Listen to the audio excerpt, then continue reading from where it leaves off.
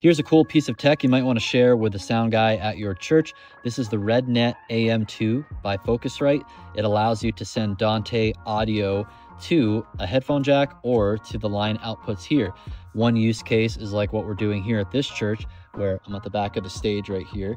And let's say a musician needs a in-ear monitor mix and they want a stereo in-ear monitor mix. They can actually just plug this into our patch bay here, which connects to our Dante network. So then they can get whatever Dante channel of audio they need to this in-ear monitor mix.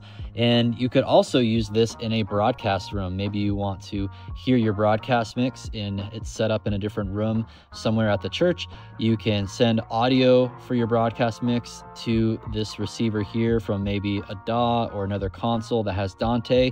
And then you can send the signal to some speakers in that room so you can dial in your mix. So, really cool tool, uh, really handy. Again, if you need a headphone connection or you want to plug in some speakers.